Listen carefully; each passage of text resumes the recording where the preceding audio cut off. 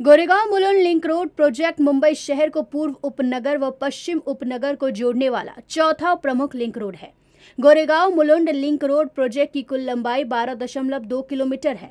संजय गांधी राष्ट्रीय उद्यान के पास 4.7 किलोमीटर का टनल बनाया जाएगा। इसी तरह गोरेगांव फ़िल्म सिटी में टनल सहित 1.6 किलोमीटर लंबी अंडरग्राउंड सड़क का निर्माण किया जाएगा।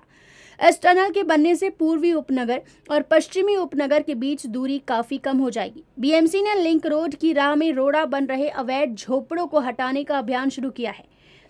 एस वार्ड के असिस्टेंट कमिश्नर अजीत कुमार आम्बी ने बताया कि सुदर्शन होटल और तुलशेद पाड़ा के बीच बने 55 अवैध झोपड़ों को तोड़कर हटा दिया गया है। अवैध निर्माण हटाने से पहले यहाँ सड़कों की चौड़ाई 30 मीटर थी, जो अब बढ़कर करीब छियालीस मीटर हो गया है।